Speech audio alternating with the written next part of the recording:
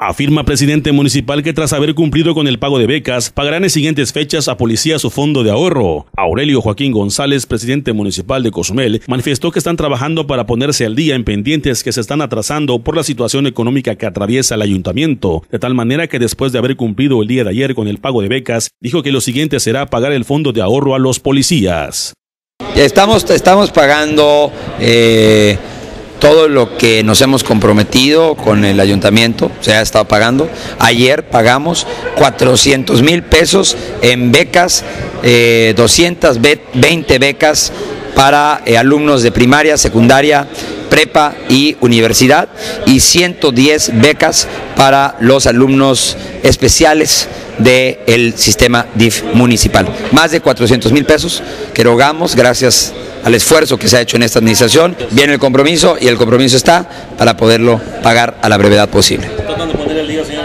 Estamos tratando de ponernos al día eh, y como bien lo dije, eh, gracias a la gente por su paciencia, poco a poco vamos nosotros cumpliendo con lo que eh, hemos acordado, no solo con los trabajadores, sino también con la comuna y los pagos también que se tienen con el ISTE, FOBISTE, Banobras, y demás instituciones, los estamos cumpliendo. De la misma manera se le planteó las decenas de quejas del personal que está siendo dado de baja y que exige un trato justo para ser finiquitados, ya que ni siquiera les avisan cuando son dados de baja sin cobrar sus quincenas. Asimismo no les pagan el finiquito debido. Sin embargo, el alcalde dijo que esta responsabilidad es de recursos humanos, así como de los directores de dependencias, ya que por su parte carga con la responsabilidad de ver que la nómina se reduzca para no entregar como otras administraciones una nómina muy inflada que viene afectando la economía del municipio.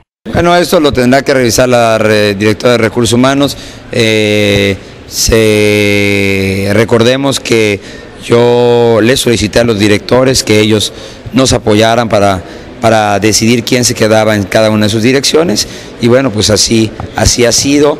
Eh, quiero decirles que yo simplemente estoy haciendo el trabajo que me compete y que eh, obviamente yo lo dije desde el inicio de esta administración. No dejaré una nómina inflada, no dejaré una nómina como me entregaron a mí de más de 1.800 trabajadores, una nómina impagable que llegaba a más del 70% del gasto del ayuntamiento mensual, era en nómina, y bueno, tenemos que bajar esa nómina a, máximo, máximo 1.400 trabajadores. Ahorita andamos en 1.550, tenemos que bajar a máximo 1.400 trabajadores, si no, la siguiente administración podría sufrir mucho más y podría tener todavía más dificultad de pago como nosotros lo hemos tenido en estas quincenas. Me tocó poner orden y eso es lo que voy a hacer.